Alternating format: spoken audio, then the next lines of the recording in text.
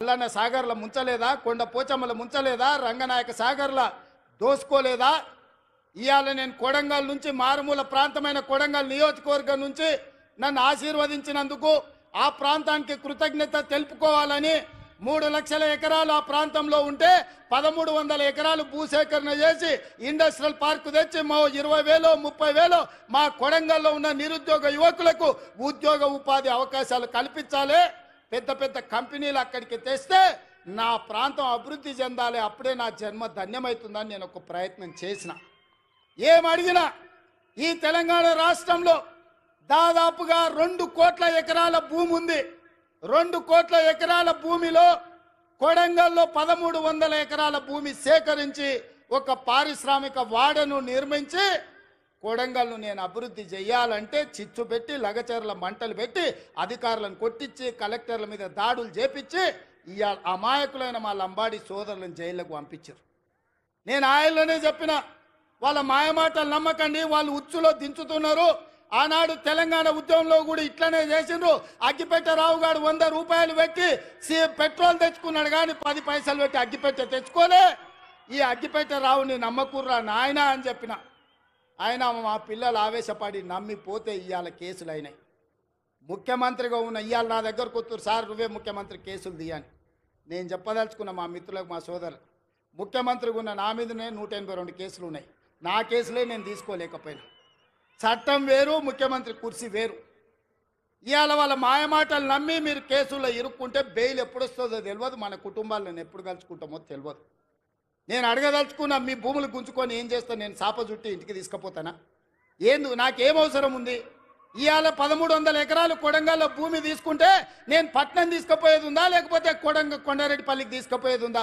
ఆ రుణం తీర్చుకోవాలని ఆ కొడంగల్ నియోజకవర్గంలో ఇరవై ఇరవై ఐదు వేల మంది నిరుద్యోగ యువకులకు ముఖ్యంగా ఆడబిడ్డలకు ఉద్యోగాలు కల్పించి ఉపాధి నెరవేర్చి పరిశ్రమలు స్థాపించి అభివృద్ధి చెయ్యాలని నేను ప్రయత్నం చేస్తే పదమూడు వందల ఎకరాలు కూడా భూ భూసేకరణ జరగకుండా అధికారుల మీద దాడులు చేసి ఈరోజు అమాయకులను కేసులలో ఇరికిచ్చారు. ఒక్క కేసీఆర్కే గజ్వాల్ల వెయ్యి ఎకరాల ఫామ్ హౌస్ ఉంది.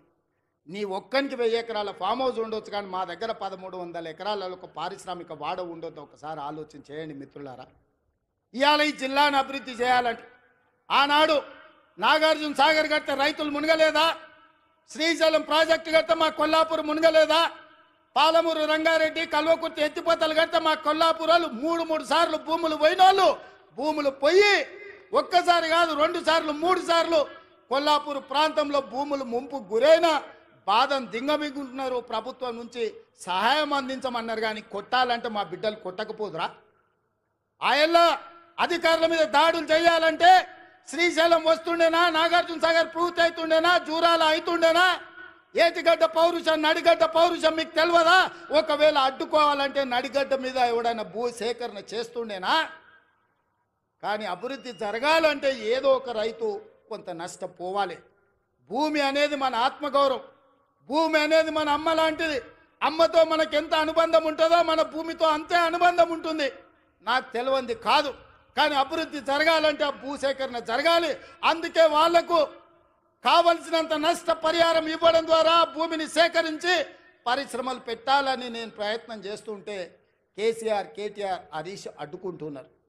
నేను అడుగుతున్నా మీరు ఆలోచన చెయ్యండి అని. ఇవాళ వాళ్ళు అడ్డుకుంటారు పోతారు. వాళ్ళకి ఫామ్ హౌస్లు ఉన్నాయి. ఒక ఆయనకు జన్వాడలు ఉంది ఒక ఆయనకు గజ్వేళ్ళు ఉంది.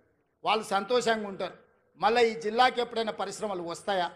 మన పిల్లలకు ఉద్యోగాలు వస్తాయా? ఇవాళ మీరు అండగా నిలబడితే పది రూపాయలు ఎక్కువైనా ఇచ్చే శక్తి నా దగ్గర ఉంది. నేను సంతకం పెడితే పది లక్షలు కాదు ఎకరాకి ఇరవై లక్షలు ఇచ్చే శక్తి నా దగ్గర ఉంది.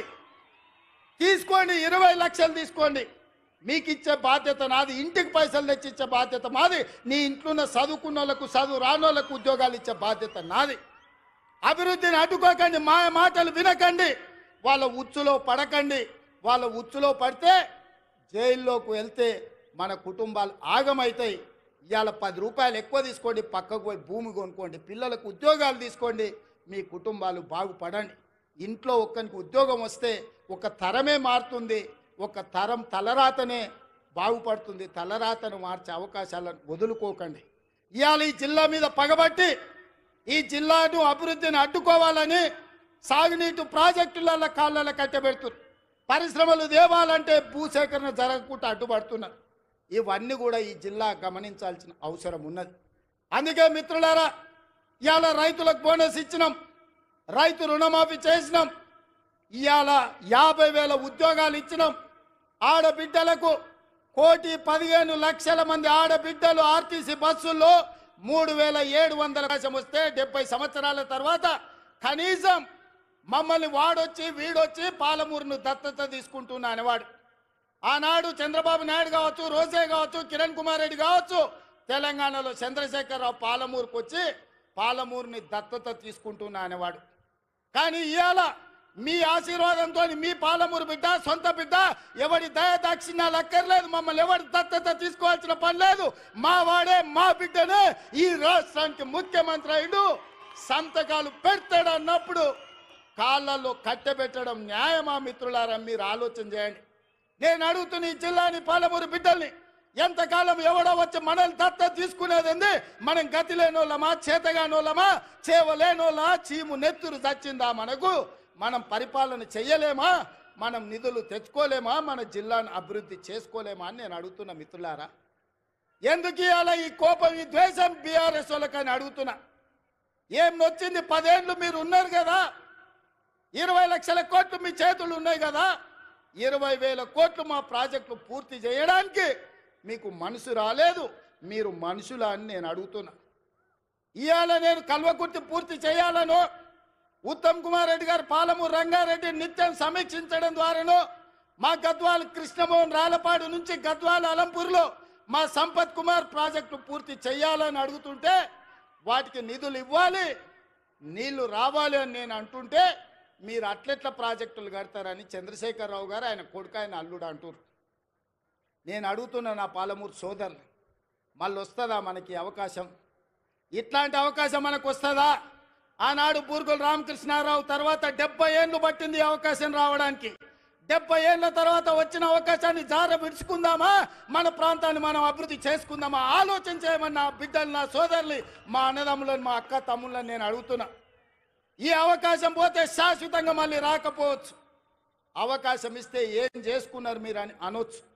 అందుకే ఇవాళ ఎవరు ఏమనుకున్నా మక్తల్ నారాయణపేట కొడంగల్ ఎత్తిపోతల పథకాన్ని తెచ్చినాం. మహబూబ్నగర్లో ఇంజనీరింగ్ లా కాలేజ్ తెచ్చినాం. ఇవాళ మెడికల్ కాలేజ్ కొడంగల్కు తెచ్చినాం. అన్ని కాలేజీలు అన్ని స్కూళ్ళు అన్ని విద్యా సంస్థలు ఇవాళ జిల్లాకు తెచ్చుకున్నాం. పెండింగ్ ఉన్న పాలమూరు రంగారెడ్డి ఎత్తిపోతల్ని మనం పూర్తి చేయాలనుకుంటున్నాం ఇవాళ ఇంతకుముందు మా మధు లేకపోతే మా ఎన్ఎం శ్రీనివాసరెడ్డి మా అనిరుద్ధు చిట్టీలు ఇచ్చారు అన్న ఇవన్నీ ప్రకటించాలి అవన్నీ